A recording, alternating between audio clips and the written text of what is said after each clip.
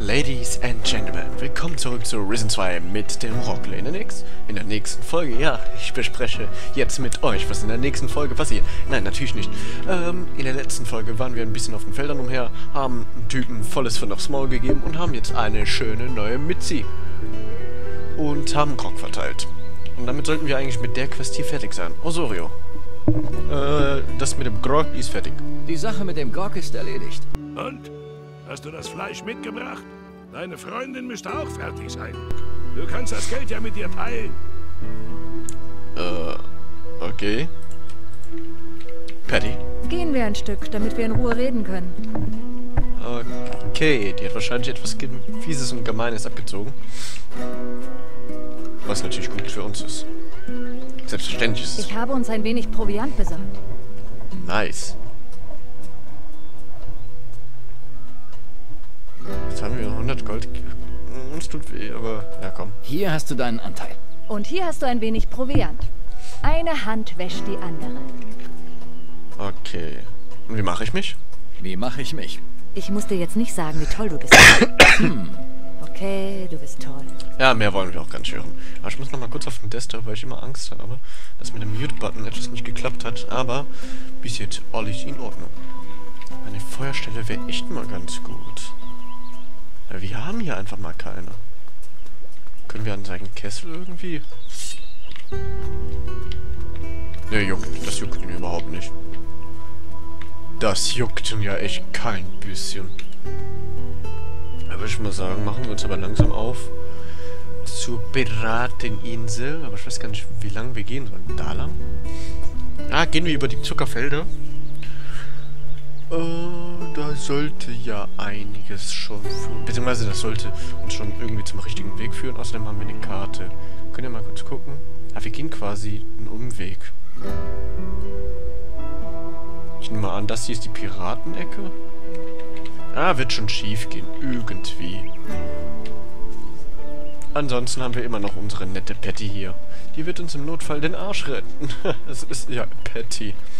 Mit ihren schönen Hüft Hüftbewegungen. Das geht schon ein bisschen auf die Nüsse mit ihren... Jetzt wäre wieder dieser einer dieser Momente gewesen, wo man liebend gern eine Facecam hätte. So, den haben wir ausgenommen. Ich nenne es mal ausgenommen einfach. Stompings, da ist Riley. Ne, Riley war der andere, das hier war Jill. War Jill nicht... Egal, egal, egal. Ähm, Karte, sag mir, wo ich lang muss. Okay, da gibt's nicht wirklich viel, wo man lang könnte. Also gehen wir hier lang. Müssen wir auch mal die Augen offen halten, ob wir die Molukken finden, also den entflohenen Sklaven. Mama, Arma 3. Geisterlilie. Hüpf. Seht ihr schon was? Warte mal, mein Spinnen sind, beziehungsweise eine Erinnerung kommt gerade hoch, nämlich, dass es hier Fallen gab. Und da sind große Affen. Ich weiß nicht, ob die auch freundlich sind wie die kleinen. Hallo. Ah, warte mal. Magibären. Hallo, Äffchen. Patty, dieser Krallenaffe ist nicht nett. Oh, wir können parieren gegen das Mistvieh.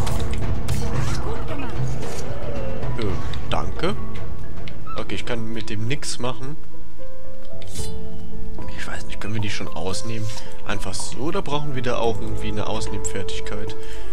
Äh, Fähigkeiten. Ah, wir sind schon unter Fähigkeiten.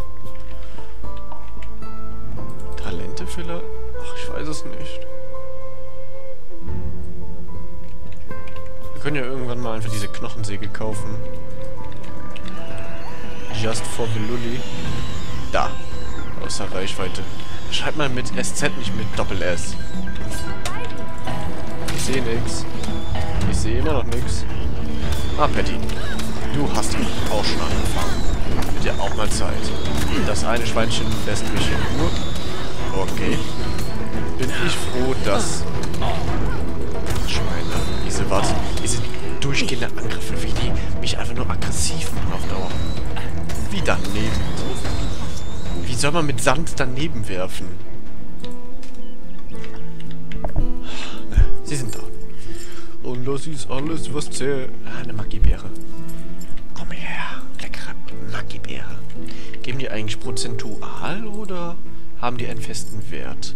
Proviant.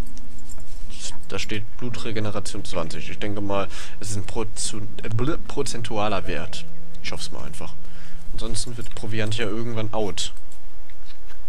Beziehungsweise einfach nur sinnlos. Okay, hier sind wir wieder an den Zuckerfeldern. Da kann man aber noch weiter hoch. Und da geht es auch in eine Höhle.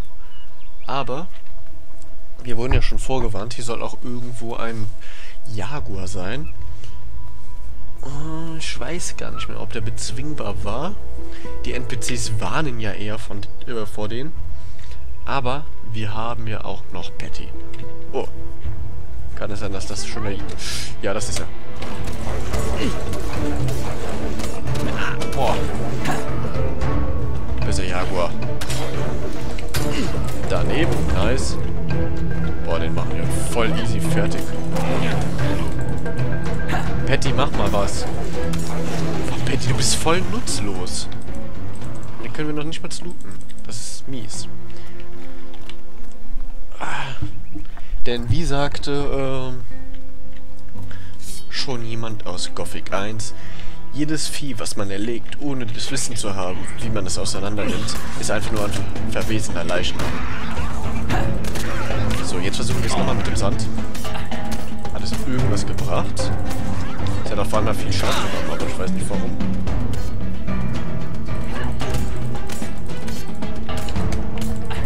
Ja, rennt im Kreis. Finde ja auch wieder schön, dass wir angehittet werden und erstmal ins Straucheln geraten. Und wir alles andere einfach so draufhacken können wie sonst was. So, na, ist mir doch egal. Hau halt weiter, ne? Ich schau dich jetzt. Und dann kannst du mich nicht mehr hauen, weil dann gerätst du wieder ins Straucheln altes Schwert. Es ist ähm, definitiv schwächer. Boah, es wäre schon ein bisschen mies, wenn wir hier das Offiziersschwert am Anfang nicht mitgenommen hätten. Wobei ich denke mal, man wäre ein Idiot, ein, eine offensichtliche Waffe einfach nicht mitzunehmen. Beziehungsweise jeder Trottel müsste das eigentlich gesehen haben. Sei still. Hat diese Meckertante. Da ist eine Höhle. Und ein Leuchtturm, ja, aber wir gehen erstmal in die Höhle. Vielleicht ist da am Ende wieder eine Truhe. Vielleicht ist es sogar diese Höhle von dem, äh, Thompson? War das Thompson? Hat Thompson darüber gesprochen? Ich glaube, ja. Oh, es ist einfach nur ein Bindeglied von A nach B. Oder sind wir hier? Ich brauche eine Spitzhacke.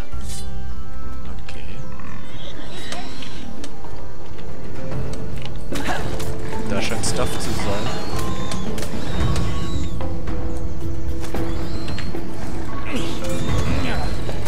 Wir haben es für ungefähr eine gefühlte Millisekunde gesandt bekommen. Das ist schon mal sehr nice. Was würden wir bloß ohne den Sand machen?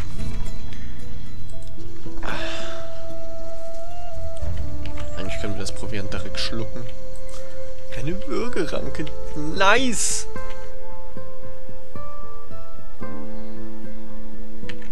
Okay, keine Ahnung, wo mich das hier hinführt, aber wir gehen doch nochmal zurück. Einfach um, mal ganz ehrlich, weil die mich so abfuckt. Das tut mir jetzt leid, aber... Ich hasse diese Katze. Oh Gott, die sie einfach abfuckt und einfach ihren Willen durchdrücken möchte. Aber man kann nicht gegen sie ankommen, weil sie einfach so durchgehend einen auf den Sack geht. Ich müsste sie wahrscheinlich in den Schrank sperren, den Schrank irgendwie zukleistern. Und ich weiß nicht, äh... Vollen Sound. Vaskus Turm. Äh, Turm. Haben wir eine Quest dafür? Lass mal gucken. Ah, Piraten, nein. Kopf, nein. Hm, alles so weniger nein. Okay. Was machst du denn hier? Dich habe ich hier noch nie gesehen. Ich bin mit dem Schiff angekommen. Wenn du weiter nach Osten willst, gebe ich dir einen guten Rat. Geh nicht durch das Dschungeltal. Das ist viel zu gefährlich. Die Höhle hier oben führt dich zu einem Pass über die Berge. Das ist der sichere Weg. Äh, was ist am Dschungel so gefährlich? Was ist am Dschungel so gefährlich? Da gibt es Jaguare. Die Biester springen dich an und dann ist es ruckzuck aus mit dir. Aber wenn du richtiges Pech hast, begegnest du den entlaufenen Sklaven. Die freuen sich über jeden Weißen, den sie aufspießen können. Ich habe mal einen von ihnen am Rand des Dschungels gesehen. Er war angemalt und bewaffnet, sah zum Fürchten aus. Als ich gerade auf ihn anlegen wollte, war er verschwunden. Schätze, er wollte, dass ich ihn verfolge. Wahrscheinlich haben die Wilden mittlerweile überall Fallen errichtet. Okay, erzähl mir mehr über den Pass. Erzähl mir mehr über den Pass. Du gehst einfach durch den Höhleneingang hier oben und folgst dem Weg. Du darfst nur nicht den Fehler machen, zu weit nach Norden in die Berge zu gehen. Wenn du zu einer Brücke kommst, musst du auf die andere Seite. Auf der anderen Seite der Insel befindet sich irgendwo das Piratennest. Geh auf keinen Fall nach Norden. Was ist im Norden? Was ist im Norden? Die Höhlen dort sind mordsgefährlich. Dagegen ist der Dschungel ein Spaziergang im Park. Wir haben einen Kundschafter hineingeschickt und draußen am Eingang gewartet. Plötzlich kam irgendwas Großes aus dem Nichts und hat ihn sich geschnappt. Wir sind nur noch gerannt, bis wir wieder auf den Feldern waren. Ich sage dir, das Ding war riesig. Bloß nicht hin. Ich will da hin. Aber Benimm dich hier. Okay, er sieht uns. Ich will den Ort ausnehmen. Und ich glaube, ich habe auch die richtigen Skills dafür. Ich muss mich quasi nur hier so hinbewegen. Drücke auf die Steuerungstaste und so. Äh, und schon schleichen wir. Klauen Wein. Den Fisch.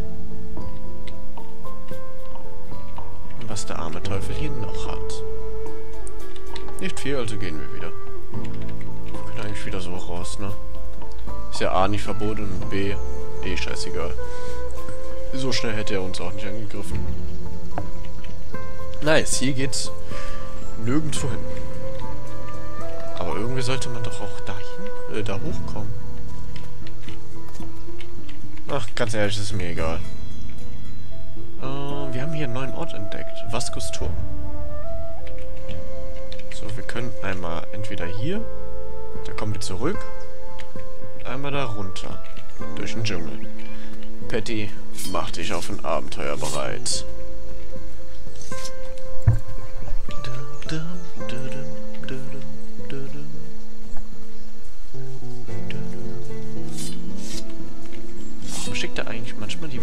Direkt wieder so rein? Übelst nervtötend. Komm, der Äffchen, komm! Gib mir deine EP. Serious, bitch. Okay, das Äffchen ist schon mal tot.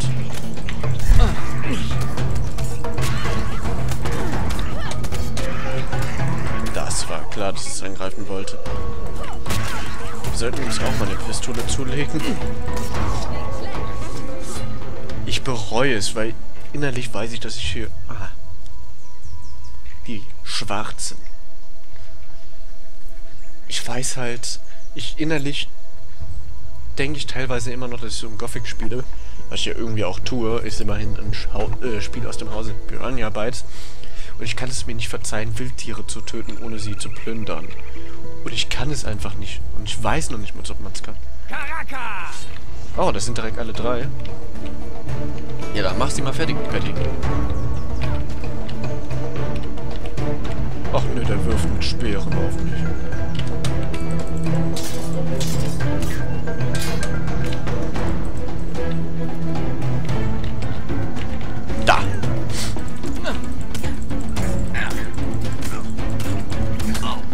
Für geblendet konnte er ziemlich gut zuhauen.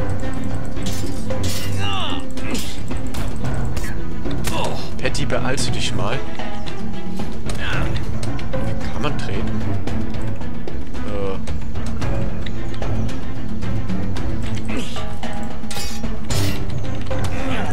Ha, du bist geblendet.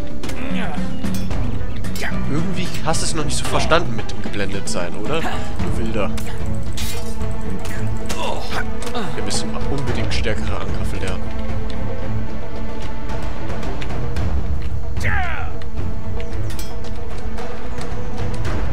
Wir gehen mal Richtung Patty ein bisschen mehr. Oder blenden die nochmal. am Arsch mit Blenden. Na klar, der springt. Boah, die Steuerung ist ein bisschen gewöhnungsbedürftig, um es freundlich zu nennen.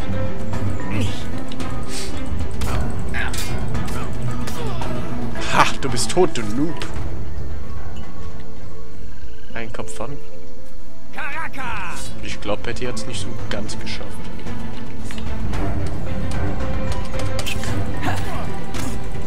Ich weiß nicht warum, aber ich konnte nicht. Ah, jetzt. Ich wollte schon sagen, was ist denn da los, dass wir nicht mehr ausweichen können? Nicht, dass die Tastatur kaputt geht, obwohl ich sie erst seit zwei Tagen habe. Boah, der geht mir schon ein bisschen auf den Piss. Aber ich habe ihn einfach niedergerungen. der hatte keine Chance. Das gehört zu den Wurfwaffen.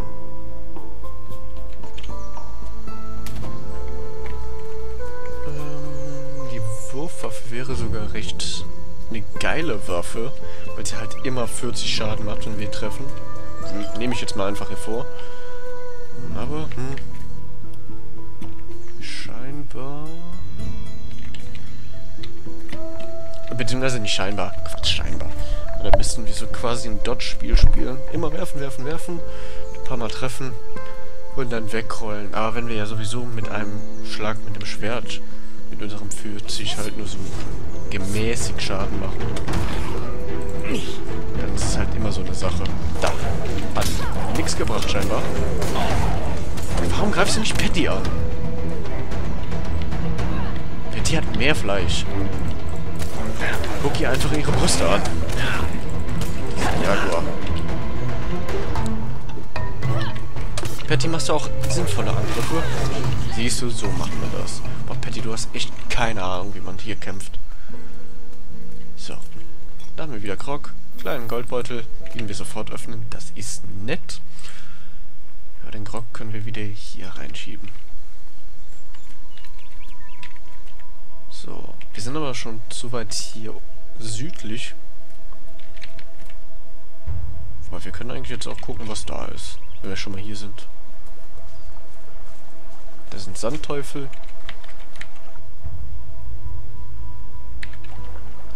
Ich habe irgendwie das Gefühl, dass wir hier eh irgendwann nochmal kommen. Das ist ja nett, wenn hilfst. Das war so klar, dieses Mistvieh von Sandteufel. Wir machen einfach so wenig Schaden. Und weiterklicken.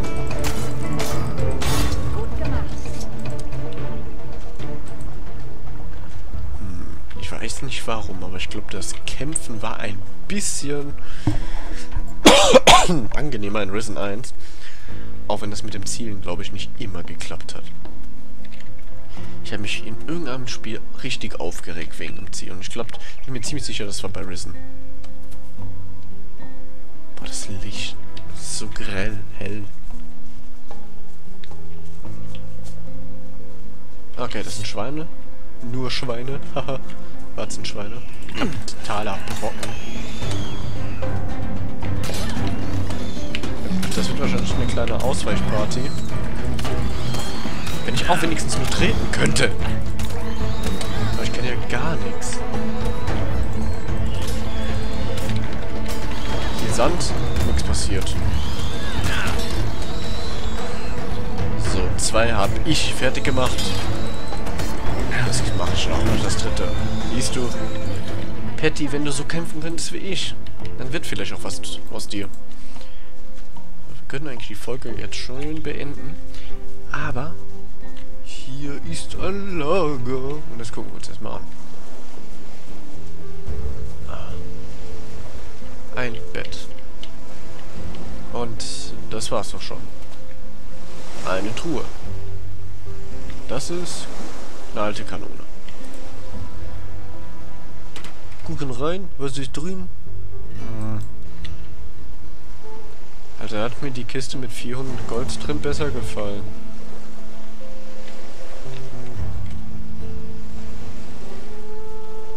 Wir sind tatsächlich einfach um die Ecke gerade von der Insel. Wir hätten, ich weiß gar nicht, kann man schwimmen?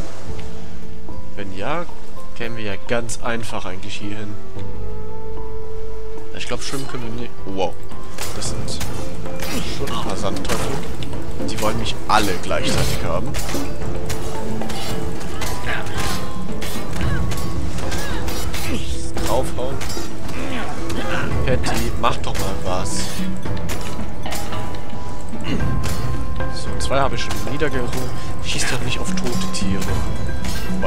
Hier als Tier. Ist ja eher Ding, würde ich schon fast behaupten. Noch ein bisschen Sand. Wobei eigentlich ist es ja logisch, dass Sand den nicht so viel ausmachen sollte, weil sie buddeln sich in Sand ein und heißen auch schon Sandteufel. Ich würde mal sagen, machen wir hier nochmal einen Cut.